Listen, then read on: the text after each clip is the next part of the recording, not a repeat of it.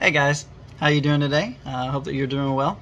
So yesterday we spoke about how uh, we should be getting out there and trying to make disciples of others, and um, we spoke about how we should not have a spirit of fear because God didn't give us a spirit of fear, but rather um, He has given us uh, power and love and uh, sound judgment, and those all come from God Himself. And uh, so we know that He uh, will help us. He'll be working with us um, and in us as we try to share the good news of Jesus Christ with others.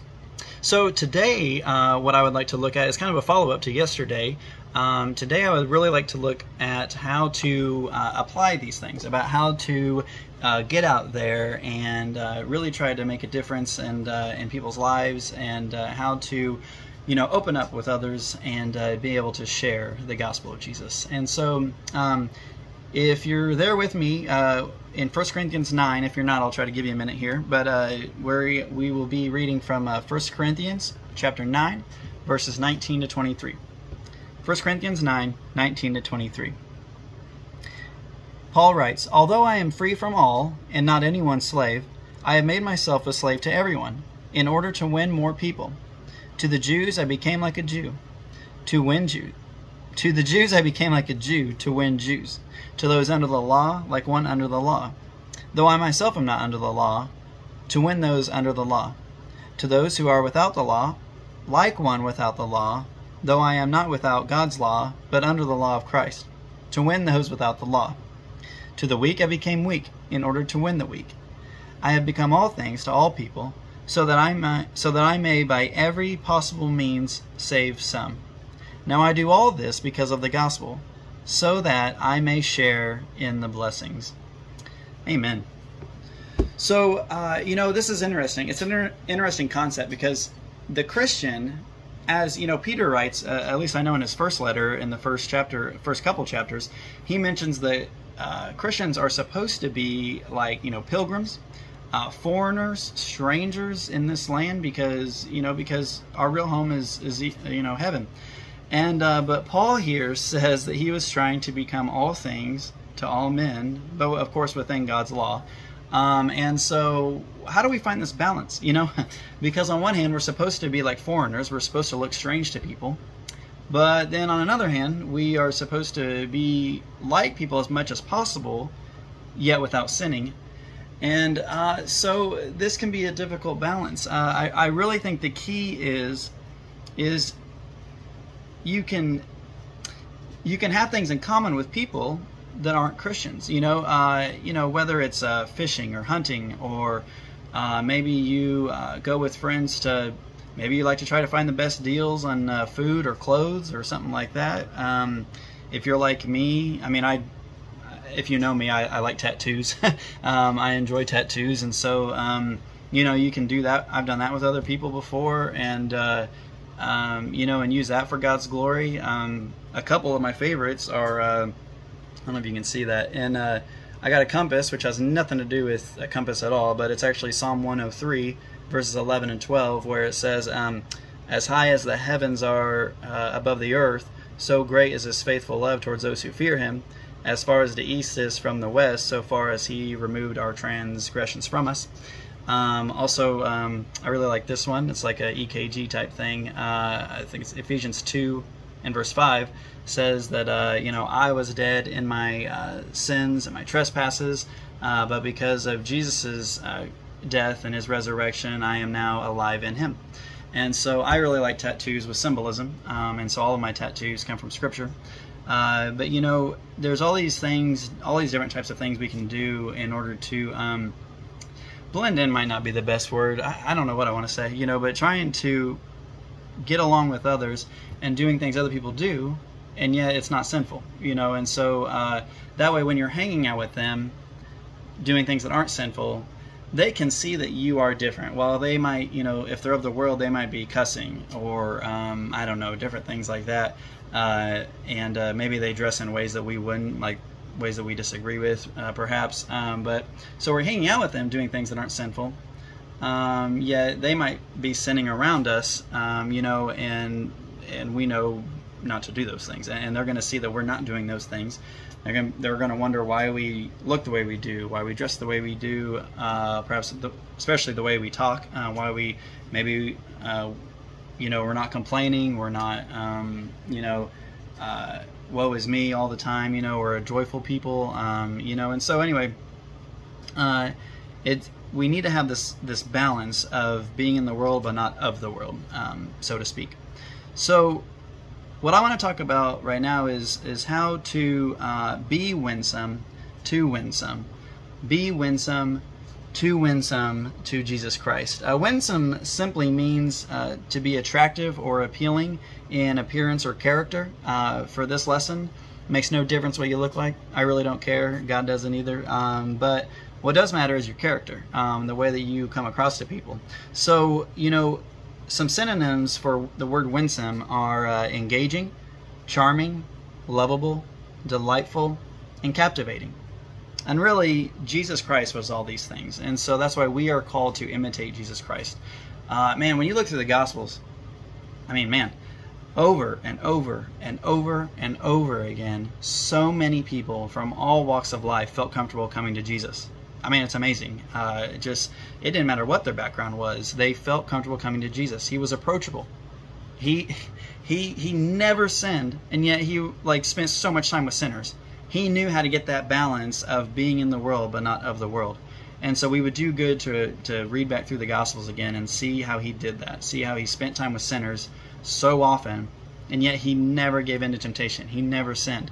Um, so wow, I mean, Jesus is, truly awesome and uh, and the perfect example for us and uh, being in this world but not of the world. Uh, he you know he didn't win everyone over. You know only you know there's only going to be a few that go into heaven, but uh, but man he was uh, he was the type of person that people felt comfortable coming to and. Um, and uh, that's the way that we should be too. We should have that type of personality.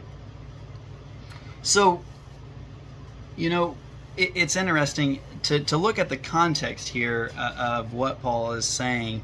I, really probably should have broken that down first, but uh, it, it, can be really confusing if you're new to Scripture, if you're new to who Paul is and his background, and you don't know what he's talking about. He's simply saying that, you know, he would try to be like Jews when he was around the Jews. You know, Jews couldn't eat certain meats. So, as a Christian, Paul could have eaten any meat that he wanted to, you know, but uh, but the Jews couldn't. So the way he was like the Jews, at least one of the ways anyway, um, as an example, would be that he didn't eat certain meats when he was around the Jews.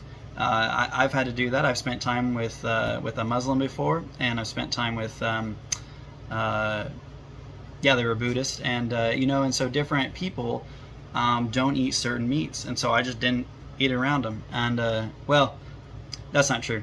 I we, we discussed it and and they gave me full permission. They, they didn't care that I ate certain meats. Um, I just we just respected each other, um, each other's differences, and so. But I told them that I wouldn't if it bothered them, and uh, and but they were cool with it. So you know, at least talk with them and see see how they feel about those things. But you know, you know, I used to skateboard all the time when I was younger, like a lot, and I would put uh, Bible verses on my skateboard. I would write on my skateboard, and so people saw that, and that was an easy way to you know, start talking about Jesus with others. Same thing with my tattoos. People ask me all the time, and um, and I'm able to use that for God's glory, and, uh, it just always opens doors to talk about Jesus with others. Um, you know, door knocking works okay. Well, not in my experience, but I mean, I've heard that people have been converted through door knocking. Um, but uh, man, at least I can only speak to America. But at least in America, it seems like the the best way to convert people, in my experience, is really building up, um, you know, relationships with those that we that we're around all the time, um, especially work with. Uh, I've always worked in um, I've always worked in factories, and uh, and the ones the people who I've been able to talk with the most and, con- and converse with the most are those who I build up relationships with my coworkers, and then uh, there's been times they come to church with me. They, they feel more comfortable just coming in and, and observing and seeing what we do. Some don't feel comfortable with that at all and that's fine. They instead they've come to my house, or I'll meet them somewhere, and uh, and we we study the scriptures together one on one. You know, whatever you can do to um, to be able to talk with others, to just try to share the good news of Jesus with others. Uh, maybe you are a stay-at-home mom and you don't uh, you don't go to a like a secular job because you got you're doing your full time work as a as a um, stay at home mom, working with the children and cleaning the house and uh, and doing what you do there, um, and that brings tons of glory to God. So if you do that, thumbs up. Um, I do want to. I'm not. I'm not joking at all. I'm. I'm. I'm definitely commending um, all women who do that. Um, I wish more did.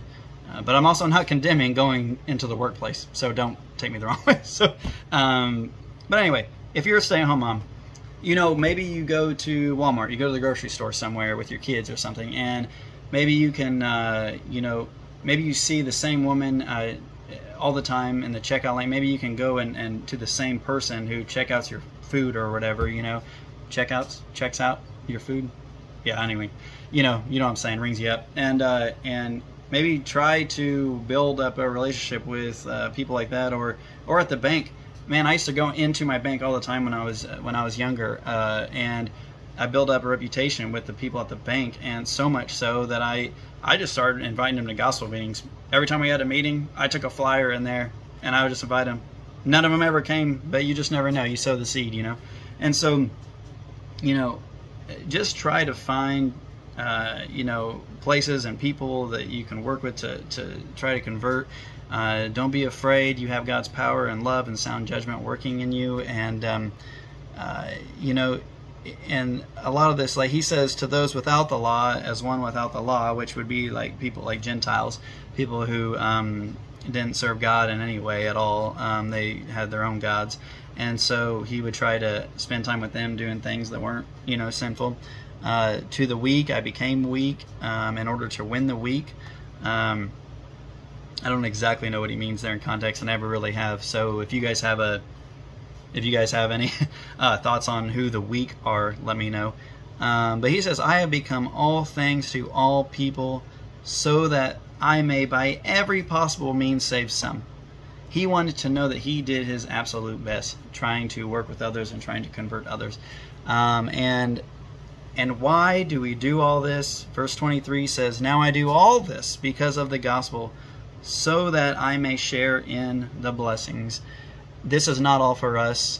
We are not to hog it all. We are to be trying to share the gospel with others so that they too can receive these uh, spiritual blessings in Jesus Christ. Um, Ephesians 1 3 says. And, uh, you know, but you can only have these spiritual blessings when you are found in Christ the only way you get in Christ is is through a re, you know a repentant faith and uh, and being baptized into Jesus Christ as the scriptures teach. And so, uh, if you have not been baptized into Christ by God's grace, then you do not have the spiritual blessings uh, that are only found in Christ. Um, you may have, uh, you know, what I call common blessings, um, like Matthew um, 5, verse 45, I think it is, says that, uh, you know, everyone, no matter what your beliefs are, you might have uh, family, uh, or you might have friends. You might have good weather, bad weather, uh, you know, but you need the rain too. So um, for food to grow and such. So I mean that's a blessing too. And but God, God gives these kind of blessings to everyone. So, um, but then there are spiritual blessings that are only found in Christ Jesus. Um, maybe I would encourage you to read Ephesians 1 uh, verses uh, 3 to 14 if you're curious about that. Um, but anyway, Sorry, I went way longer than I meant to. Uh, I let time get away from me. So I'll just say that's all for now. Um, if you guys have any, uh, you know, uh, comments, any questions, any disagreements, I'm always open to all that. I love hearing from you guys.